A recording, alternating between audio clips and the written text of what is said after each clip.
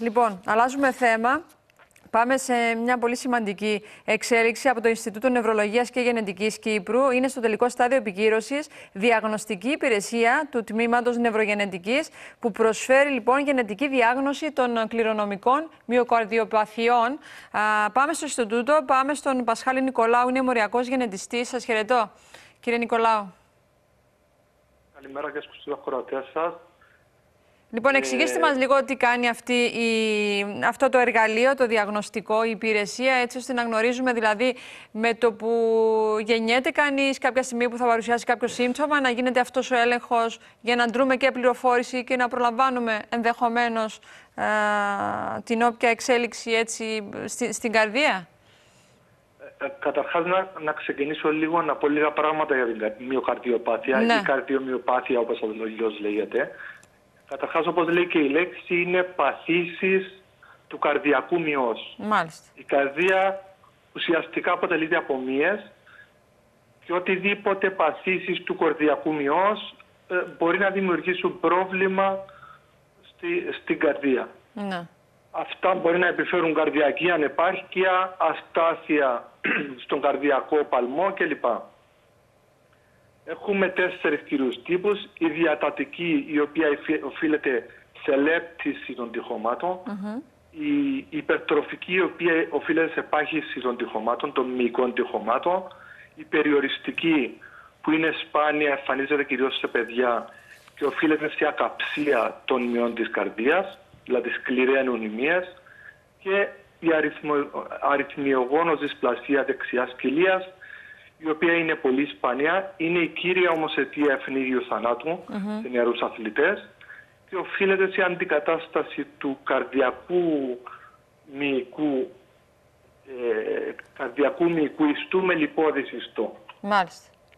Ε, που λέτε ότι αυτό, ε, κύριε Νικολάου, δεν μπορεί να το εντοπίσει κανείς με ένα υπερηχογράφημα ή καρδιογράφημα ή άλλος πώς. Ναι. Αυτά μπορούν να γίνουν εξετάσεις από τους πολλού καρδιολόγους ναι. και τότε παραπέμπεται στο Ινστιτούτο Γενετική και Νευρολογία για την κληρονομική mm προδιάθεση του ατόμου. Όλες αυτές οι ασθένειες είναι κατά κύριο λόγο κληρονομικές.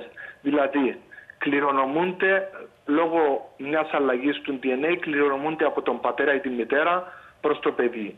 Άρα, εντοπίζοντας εμείς αυτή την ανομαλία, μπορούμε πλέον να δώσουμε εξειδικευμένη θεραπεία, όχι εμείς, οι ιατροί πλέον να δώσουν εξειδικευμένη θεραπεία και επίσης μπορούν να δώσουν πρόληψη. Ναι.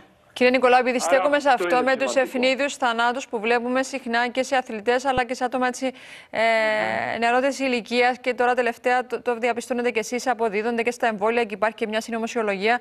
Αλλά είναι ένας ένας σημαντικός παράγοντας αυτό που μας είπατε μόλις τώρα. Άρα, λέτε ότι αν διαπιστωθεί ότι είναι κάτι κληρονομικό ή άλλος πώς θα μπορούσε να μπει ως ε, εξέταση ρουτίνας και στους αθλητές για να διαπιστώνεται και να προλαμβάνεται. Θα μπορούσε, παρόλο που είναι πολύ πολύ σπάνια θα μπορούσε να γίνεται mm εξέταση ρουτίνας για παράδειγμα στους νεαρούς αθλητές ούτως ναι. ώστε να μπορεί να προλαμβάνεται αυτό και να δίνεται η κατάλληλη θεραπεία και η κατάλληλη φαρμακευτική, φαρμακευτική αγωγή ή θεραπεία ανάλογα τι χρειάζεται. Ωραία, και να δούμε τώρα τη δική σας ε, διαγνωστική υπηρεσία.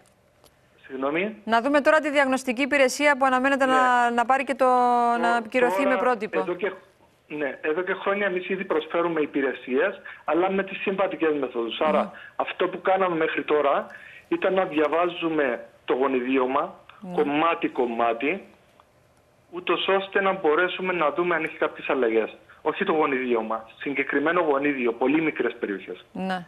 Με τη μία τώρα τεχνική υπάρχει δυνατότητα του να διαβάζουμε μεγάλα κομμάτια DNA, πολλά γονίδια ταυτόχρονα, ούτως ώστε αυτό ρίχνει το χρόνο ε, διάγνωσης κατά πολύ και το κόστος διάγνωσης. Άρα ενώ μέχρι τώρα προσπαθούσαμε κομματάκι κομματάκι να ανοιχνεύσουμε αν υπάρχει κάποια μεταλλαγή και χρειαζόταν μεγάλος χρόνος, δηλαδή μήνες ή και μερικές φορές και χρόνος, ε, με αυτή τη διαγνωστική υπηρεσία μέσα σε ένα-δύο μήνες μπορούμε να διαβάσουμε ταυτόχρονα πολλές περιοχές και να εντοπίσουμε αν υπάρχει κάποια μεταλλαγή. Ναι. Και Άρα αυτή... με μια σωστή διάγνωση από τον γιατρό ναι. μπορούμε να, έχουμε, ε, να ξέρουμε πού να ψάξουμε ούτως ώστε να πάμε κατευθυνόμενα σε αυτά τα 50 ή σε αυτά τα 30 γονίδια, ούτως ώστε να μπορέσουμε να βρούμε πιο εύκολα και να αντιμετωπίσουμε τις αλλαγές αυτές και θα μπορέσουμε και εκεί και πέρα να κάνουμε ο ένας στόχος είναι να γίνει ε, ε, έγκαιρη γενετική διάγνωση και πρόληψη εξειδικευμένη Ναι. θεραπεία. Και κύριε Νικολάου, τώρα αντιλαμβάνουμε ότι τώρα διαβάζετε, γίνεται ανάγνωση της όλης εξίσωσης, έτσι, της γονιδιωματικής. Άρα το ερώτημα αυτό γίνεται ε, αιματολογικά, πώς γίνεται αυτή η. Όχι, είναι με εξαίωση DNA. Μάλιστα. Ως επιτοπλίστων στο Ινστιτούτο δουλεύουμε με εξάσεις DNA, άρα αυτό που κάνουμε είναι παίρνουμε τον DNA, το γονιδίωμα δηλαδή, το ανθρώπινο γονιδίωμα, Ναι. το απομονώνουμε και από εκεί και πέρα πάμε και αρχίζουμε να ψάχνουμε για Μάλιστα. να βρούμε τις διάφορες αλλαγές. Μάλιστα. Ευχαριστώ θερμά. Α, καλή συνέχεια α, στο έργο Να είστε σας, κύριε καλά. Νικολάου. Σας χαιρετώ.